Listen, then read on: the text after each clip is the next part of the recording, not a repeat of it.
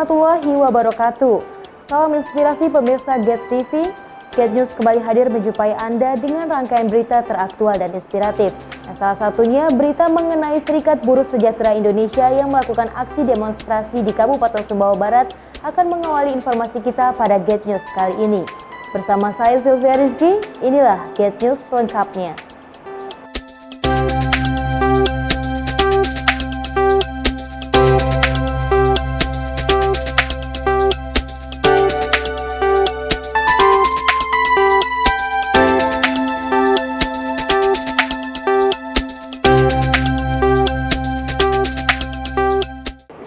Baik pemirsa, kita awali dengan informasi pertama. Puluhan masa aksi yang tergabung dalam Serikat Buruh Sejahtera Indonesia menggelar aksi demonstrasi di komplek perkantoran pemerintah daerah Kabupaten Sumbawa Barat. Dalam aksi ini, masa memblokir jalan utama pusat pemerintahan Kabupaten Sumbawa Barat. Sebanyak 50 masa aksi yang tergabung dalam Serikat Buruh Sejahtera Indonesia melakukan aksi demo menuntut kebijakan perusahaan yang mem-PHK karyawan secara sepihak dengan menutup jalur utama pusat pemerintahan Kabupaten Sumbawa Barat. Meskipun tengah cuaca yang begitu panas tak menyurutkan semangat masa aksi untuk tetap menyampaikan tuntutan kepada pemerintah Sumbawa Barat. Dalam aksi tersebut, mereka mendesak agar Bupati Sumbawa Barat juga bersedia menjadi ketua tim penyelamatan dalam menghadapi gelombang PHK dan mendesak kepada pemerintah Sumbawa Barat untuk memperketat pengawasan kepada seluruh perusahaan yang ada di Sumbawa Barat, terutama di PT AMNT dan PT BHJ.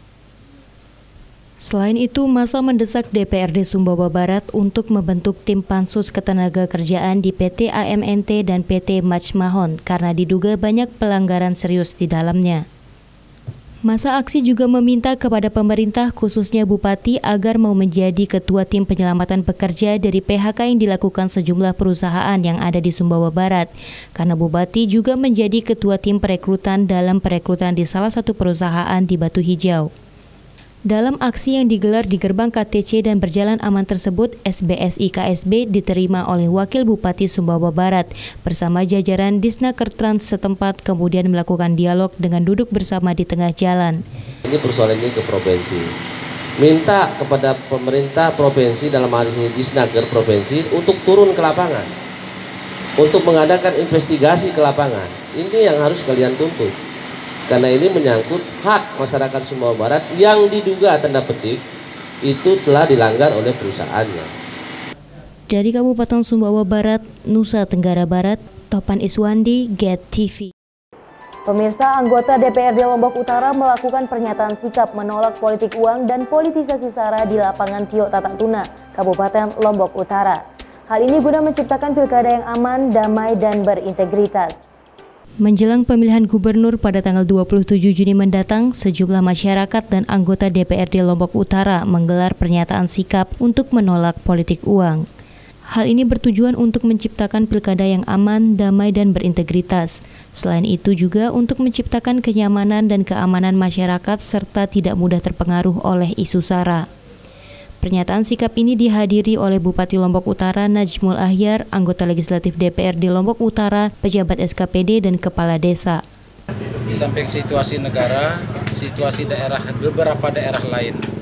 Nah, jadi sebelum itu terjadi pada daerah kita, kita antisipasi terlebih dahulu agar apa yang terjadi di daerah lain di daerah-daerah yang selama ini selama proses pilkada berjalan maupun pemilu berjalan banyak sekali terjadi keributan. Diharapkan masyarakat bisa menjaga kondusivitas jelang pilgub ataupun sesudah pilgub sehingga pemerintah tetap menjalankan pembangunannya dengan tenang. Dari Lombok Utara, Nusa Tenggara Barat, Aris Munandar, Get TV. Pemerintah Kota Mataram mengeluarkan larangan bagi pemilik tempat makan agar tidak buka pada siang hari selama bulan Ramadan. Hal ini dilakukan agar umat Islam dapat menjalankan ibadah puasanya dengan khusyuk. Guna menjaga kekhusyuan umat Islam dalam menjalankan ibadah puasa di Mataram, pemerintah kota Mataram melarang tempat makan atau warung-warung makan untuk menjajakan dagangannya pada siang hari. Upaya ini dilakukan guna memberikan rasa nyaman bagi masyarakat kota Mataram terutama dalam menjalankan ibadah puasa selama satu bulan penuh. Mari kita betul-betul menjaga kehusuan menjaga situasi dan kondisi, saling menghormati, saling toleransi. Yang tidak berpuasa menghormati yang puasa, yang berpuasa mentoleransi yang tidak berpuasa. Jangan karena adanya perbedaan-perbedaan yang sedikit, lalu kemudian itu dipertajam dan kemudian berkontribusi menjadi kompleks yang tidak kita inginkan. Pemerintah Kota Mataram menghimbau agar umat beragama khususnya Kota Mataram agar meningkatkan toleransi selama bulan Ramadan agar umat muslim lebih fokus menjalankan ibadahnya. Dari Mataram, Nusa Tenggara Barat, Emma Widiawati, Get TV. Menyinggapi kejadian di sejumlah daerah terutama teror bom yang menghebohkan warga kota Surabaya, Kepolisian Resort Lombok Barat menggelar doa bersama dengan ribuan santri di lapangan umum Kediri, Lombok Barat. Pemirsa selain itu, doa bersama ini ditujukan agar Pilkada Lombok Barat yang sebentar lagi akan dilaksanakan dapat berjalan dengan lancar serta damai. Kepolisian Resort Lombok Barat bersama tokoh agama, tokoh masyarakat, serta ribuan santri dari berbagai pondok pesantren di Kecamatan Kediri melakukan doa bersama. Menurut Kapolres Lombok Barat, AKBP Heri Wahyudi, doa bersama yang digelar di lapangan umum Kecamatan Kediri ini dalam rangka menyikapi sejumlah kejadian yang terjadi di beberapa daerah di Indonesia. Seperti kejadian di markas Komando Brimob yang melibatkan aparat kepolisian dan para napi teroris serta kejadian teror bom di kota Surabaya, Jawa Timur yang terjadi di beberapa titik beberapa waktu yang lalu. Selain itu, doa bersama ini juga digelar agar pemilihan kepala daerah di Kabupaten Lombok Barat yang akan berlangsung sebentar lagi berjalan lancar dan damai. Daripada Polres Lombok Barat berdoa ini adalah yang pertama kita mendoakan ya, para suhada-suhada khususnya anggota Polri atas korban daripada bom baik di Makobrimob maupun yang terjadi di Surabaya itu yang pertama yang kedua kita juga mendoakan untuk kelancaran pemilu kada tahun 2018 Sementara itu, mengingat sebentar lagi akan memasuki bulan puasa, diharapkan agar masyarakat Lombok Barat mendukung kegiatan operasi ketupat yang akan diselenggarakan oleh Mapolres Lombok Barat. Dari Lombok Barat, Nusa Tenggara Barat, Hartono, Get TV. Insiden bom bunuh diri yang terjadi di kota Surabaya telah memancing banyak pihak. Ya salah satunya adalah pemuda Pancasila yang ada di Nusa Tenggara Barat. Dalam pernyataan sikapnya, pemuda Pancasila sangat mengecam dan mengutuk keras adanya aksi bom bunuh diri tersebut. Insiden bom bunuh diri yang terjadi di kota Surabaya tidak henti-hentinya diperbincangkan. Selain meresahkan masyarakat dan sekaligus mengganggu ketenangan umat beragama, insiden ini juga telah memancing banyak pihak untuk menuangkan kekecewaan serta kecaman terhadap adanya aksi teror ini. Di kota Mataram khususnya, aksi teror bom bunuh diri telah membuat pemerintah mengeluarkan kebijakan dalam meningkatkan kewaspadaan, terutama pada tempat-tempat ibadah dan pariwisata. Tidak berhenti di sini, aksi teror ini juga telah memancing banyak pihak untuk mengeluarkan suara mereka tentang kekecewaan dan sekaligus kecaman atas insiden tersebut. Salah satunya dari pemuda Pancasila sendiri. Dalam pernyataan sikapnya, pemuda Pancasila menyampaikan kekecewaan serta kecaman mereka terhadap aksi teror yang meresahkan masyarakat ini. Sebagai pemuda Pancasila, insiden ini tentu telah merobohkan pendirian pada setiap detail isi Pancasila, terutama mengenai persatuan Indonesia. Sehingga pemuda Pancasila sangat kecewa dengan aksi bom yang mencoba merobohkan persatuan rakyat Indonesia, khususnya mengenai keberagaman agama yang ada. Selain itu, adanya insiden tersebut juga akan sangat mengganggu aktivitas-aktivitas yang ada, terutama terkait dengan ketenangan masyarakat. PP menyampaikan aksi bom bunuh diri ini telah menimbulkan banyak dampak, khususnya untuk Nusa Tenggara Barat yang dikatakan sebagai destinasi pariwisata halal. Sebab menurut PP, salah satu yang menjadi sasaran selain tempat ibadah adalah tempat-tempat pariwisata yang mana banyak dikunjungi oleh wisatawan asing. Jadi menyikapi uh, apa yang terjadi atau aksi terorisme yang atau aksi teror yang terjadi di beberapa tempat di Surabaya. Tentunya sampai saat ini kalau kita melihat dari dampaknya untuk daerah kita, khususnya daerah kita dikenal sebagai daerah tujuan wisata dan beberapa negara sudah memberi, memberikan uh, travel warning untuk uh, berkunjung ke Indonesia. Nah, khususnya uh, juga termasuk di berkunjung ke daerah kita. Tentunya hal ini akan berpengaruh terhadap masyarakat kita yang menggantungkan hidupnya dari sisi uh, pariwisata.